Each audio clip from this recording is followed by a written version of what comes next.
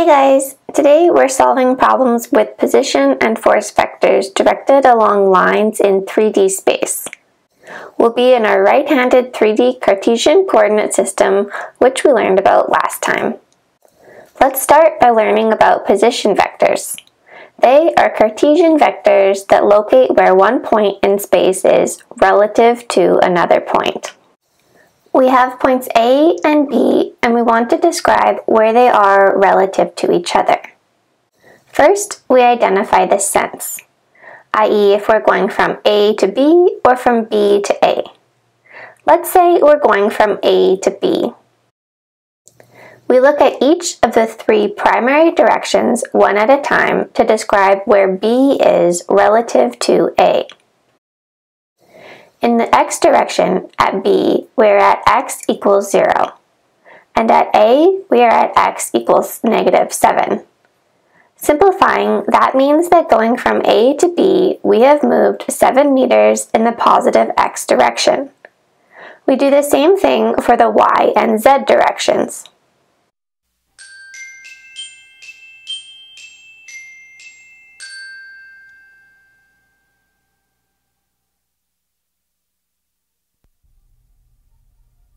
From A to B, we move 7 in the positive x direction, 5 in the negative y direction, and 4 in the positive z direction. This is our position vector, describing where B is relative to A. Now, let's say we have a force of 500 kilonewtons acting in the same direction as our vector. What would our force vector be? The force vector is different than the position vector. The position vector is defined by our displacements in meters, whereas our force is in kilonewtons. But the two vectors do share the same direction. To bridge the two types of vectors, can you think of a unitless way that we can describe the direction of vectors within a 3D Cartesian space? 10 points if you guessed unit vectors. Our force and position vectors will have the same unit vector. If we find our unit vector, we can multiply it by our force magnitude, and we end up with our force as a Cartesian vector. Let's find our unit vector. To do that, we divide each of our position vector components by the magnitude of our position vector. We get the square root of 90. That means our unit vector is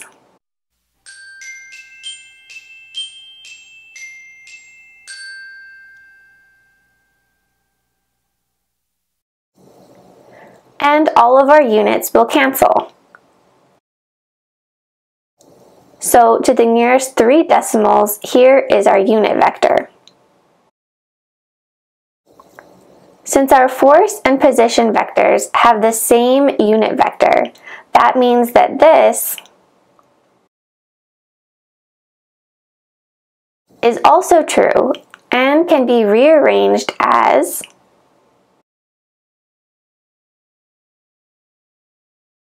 Now we can use our 500 kilonewton force magnitude to expand this.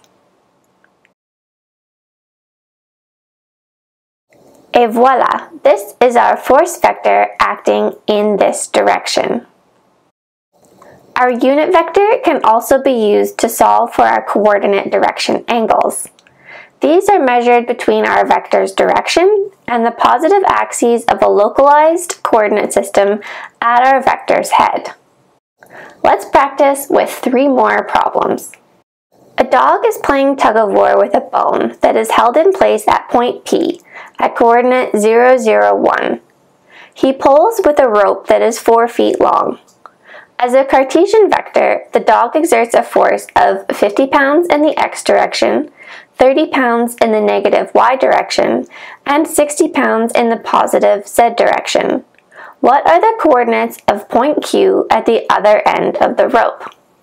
We want to go from a force vector to a position vector. How do we go between the two? We use their common unit vector. First, we find a unit vector in the direction of f. We use that to create a Cartesian position vector going from P to Q.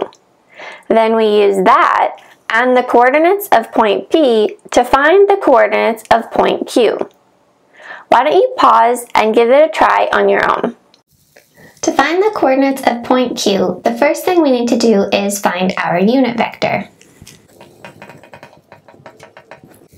That means we need the magnitude of our force vector. The magnitude is equal to the square root of the sum of each of our components, which in our case is the square root of 7,000. That gives us a unit vector of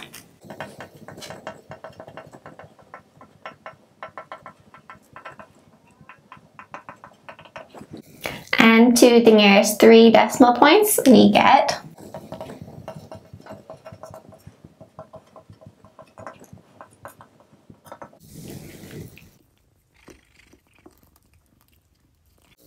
Since our unit vector is going in the same direction as our rope from point P to Q, we can combine it with our rope length to give us our position vector.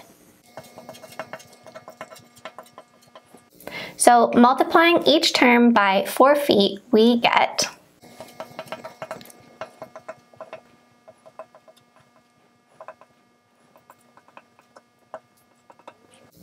I used one decimal place because I'm lazy, but you should use however many sig figs your prof asks for.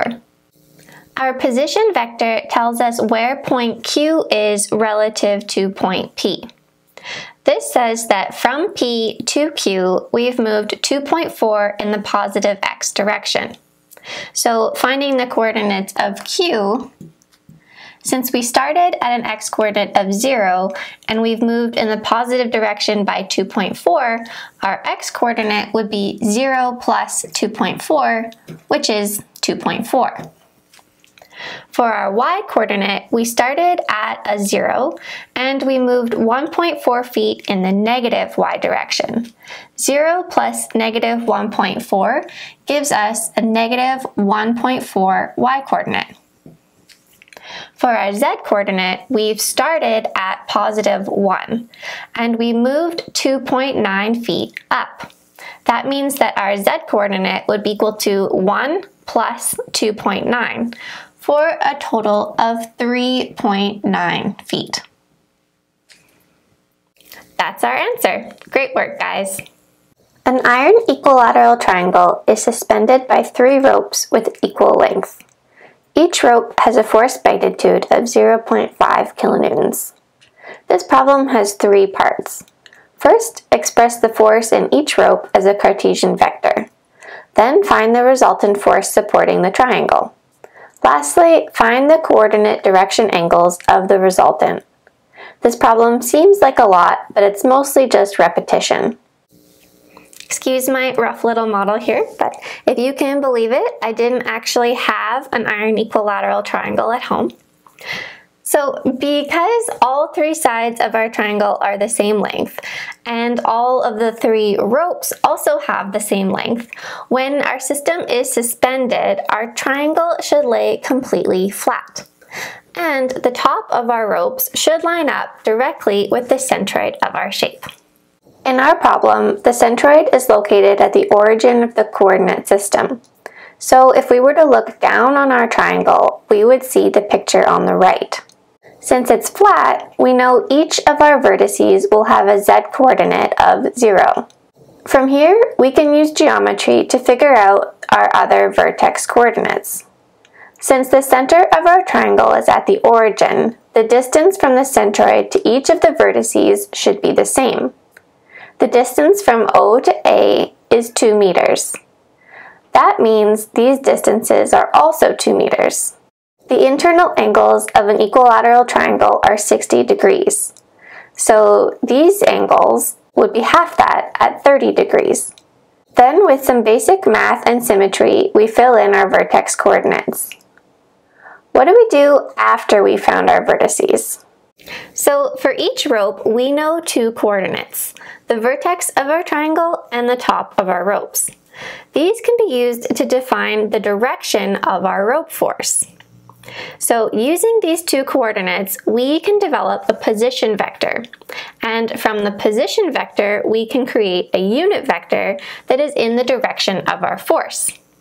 Then, using our force magnitudes, we can combine that with our unit vector to determine our forces as force vectors. First, we find the position vectors for each rope, then their magnitudes.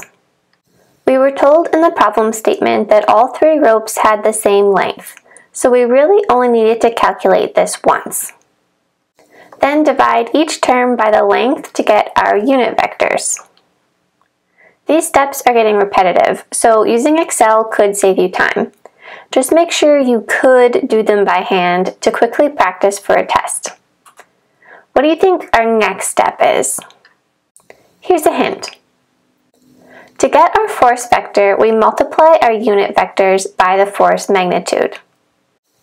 Here's the force in rope DA, and the ropes DB and DC. We could have skipped a few calculations if we had recognized at the beginning that the k components of all our force vectors should end up the same. That's because all our ropes are symmetric, ending over the centroid, and they have the same force and length. Part B, the magnitude of the resultant force. Add the like components of our Cartesian vectors. Then take the square root of the sum of the squares. Just kidding. I'm lazy. Thanks to symmetry and equal forces, we know that the forces in the x and y direction will cancel each other. Our resultant force magnitude is 1.248 kilonewtons acting in the z direction. Last part, find the coordinate direction angles.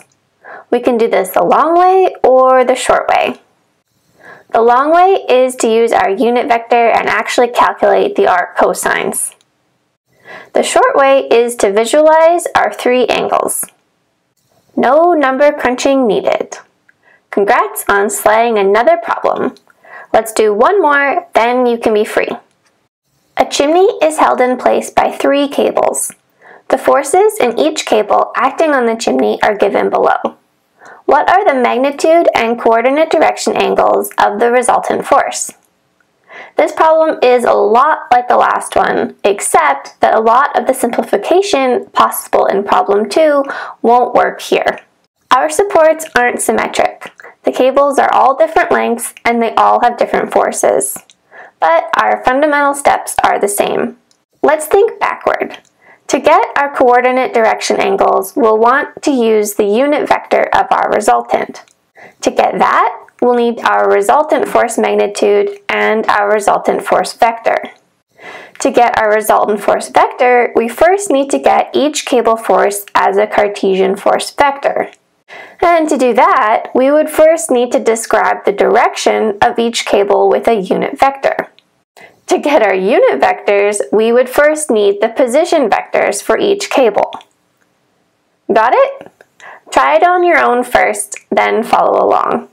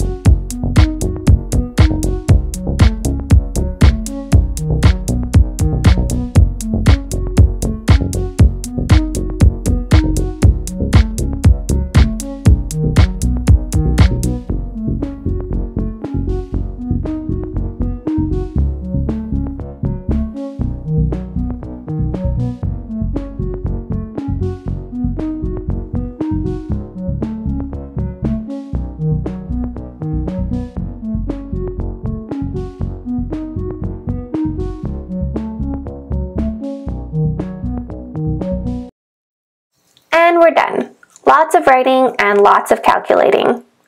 Nice work today, guys. I hope you learned something and hope to see you back next time.